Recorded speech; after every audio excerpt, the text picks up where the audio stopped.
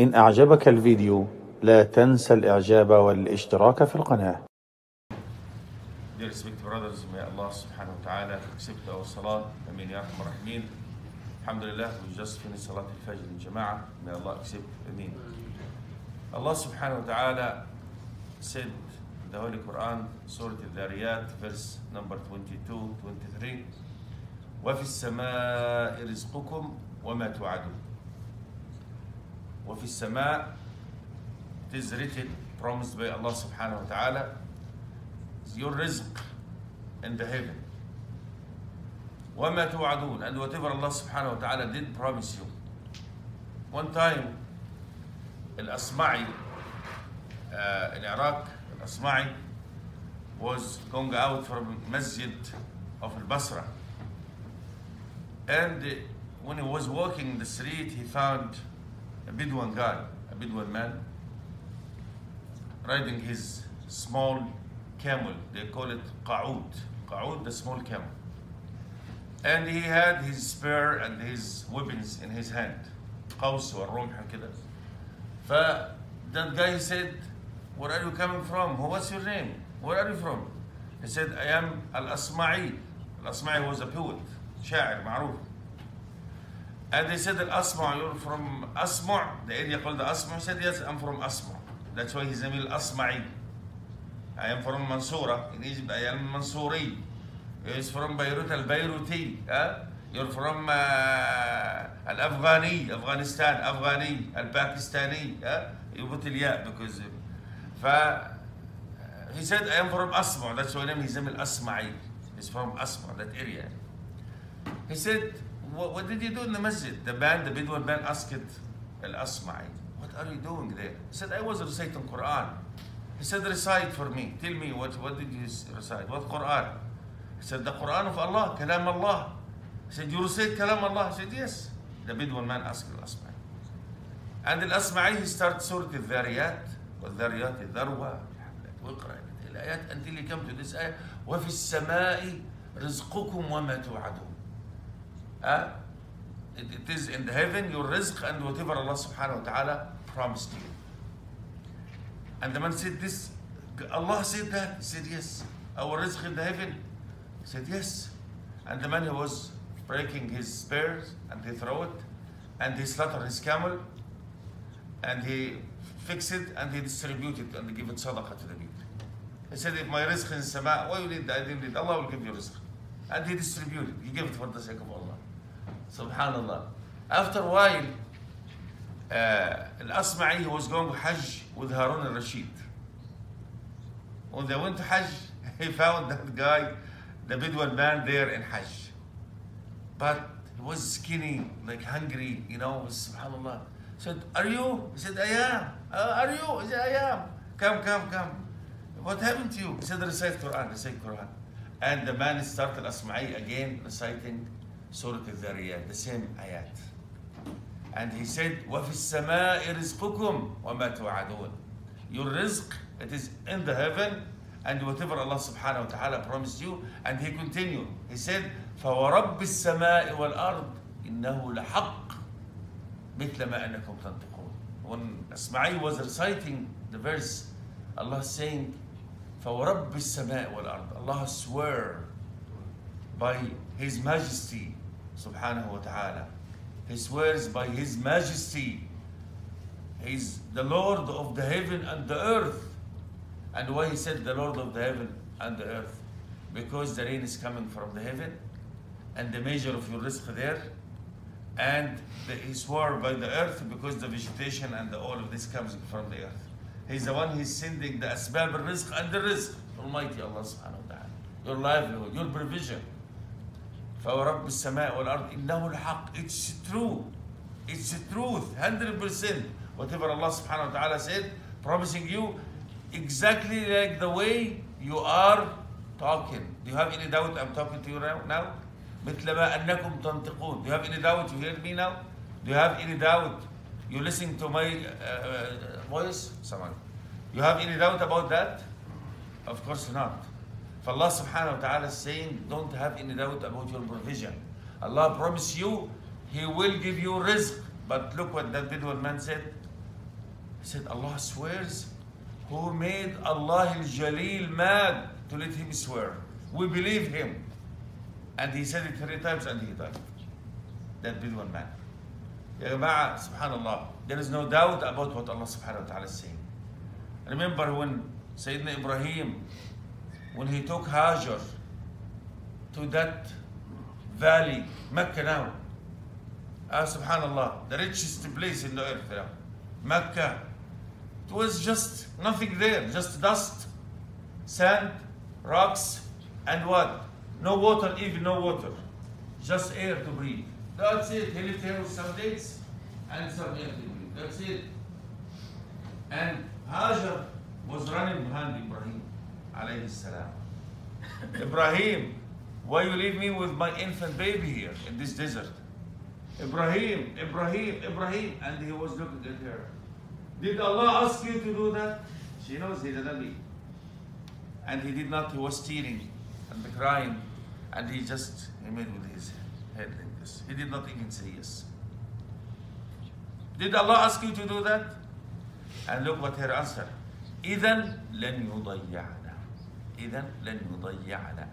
Allah subhanahu wa ta'ala will will, will, will, not let not let us uh, go astray or uh, uh, without anything. Somehow He will help us. We'll never lose. Allah will support and sustain us. Yes, He will take care of us. إذن لن يضيعنا. And she started to move. Ah, this is the point here now. She started what? To move. What the people are doing nowadays in Hajj.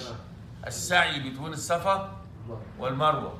ده يقول لك in Arabic السعي what السعي jogging moving going and coming back she starting بقى إيه working that's why الرزق we are not creating رزق provision we are just moving to الرزق لايك ملك هاجر وليرن فروم ذات ليدي بقول لك اسعى للرزق موف يور سيلف موف موف دو سمثينج but we are not creating risk risk in the hand of Allah سبحانه وتعالى that's why هاجر she used to go to from السفر and then coming back to Al-Marwa coming Safa Al-Marwa seven times. Maybe somebody's coming.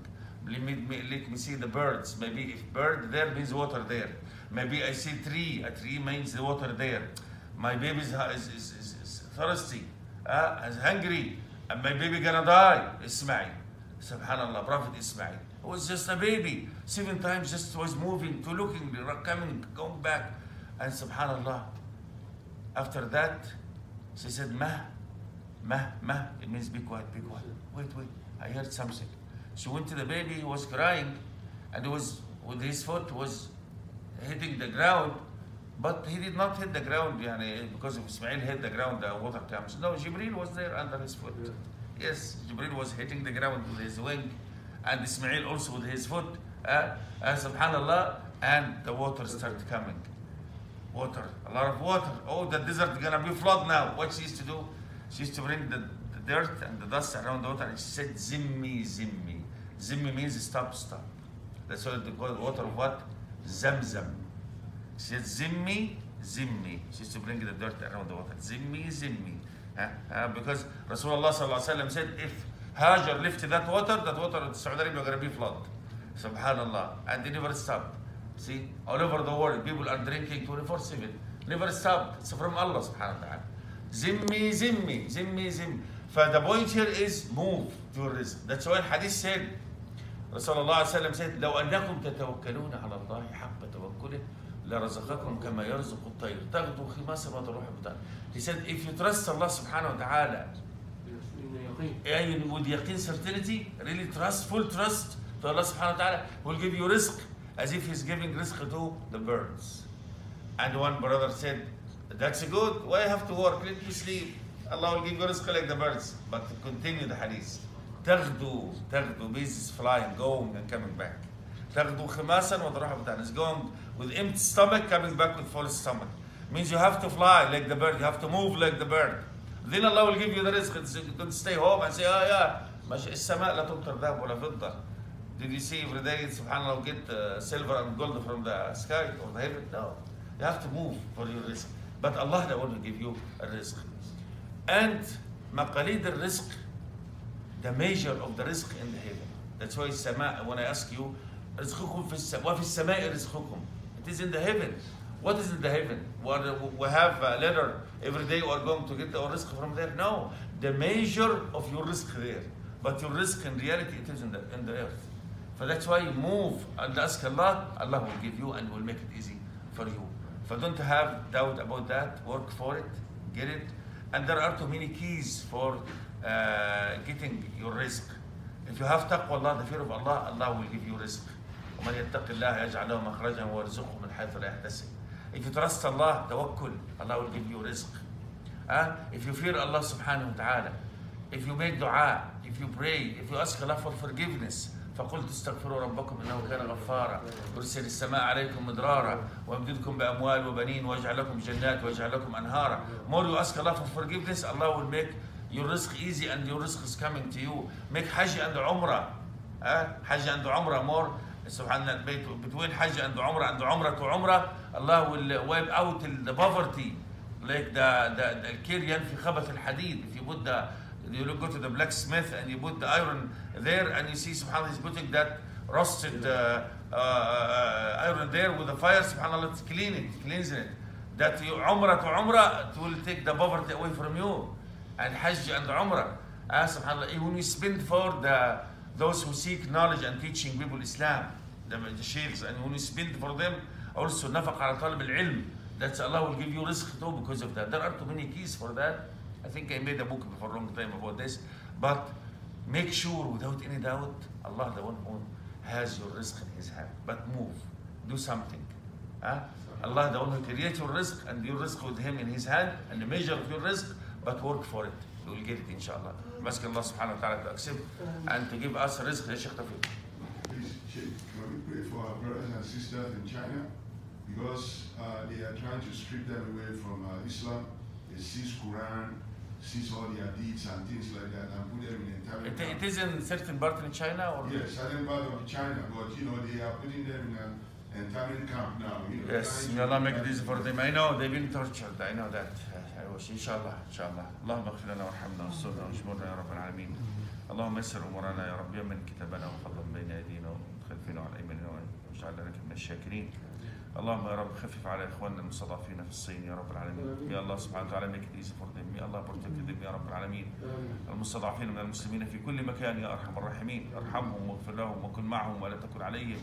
وانصرهم يا رب وحد المسلمين وارحم المسلمين واستر المسلمين وارج- وارجع المسلمين إلى دينك ردا جميلا وردنا إلى دينك ردا جميلا يا رب العالمين عافنا في أسماعنا وأبصارنا وبين محيتنا يا رب نسالك خير المسألة وخير الدعاء وخير الرزق وخير العلم اللهم يا رب نسأل خير هذا اليوم وخير ما فيه وخير ما بعده ونعوذ بك من شر هذا اليوم وشر ما فيه وشر ما بعده. يا أرحم الراحمين وصلى الله على محمد وعلى آله وصحبه. وسلم جزاكم الله خيرا. إن أعجبك الفيديو لا تنسى الإعجاب والاشتراك في القناة.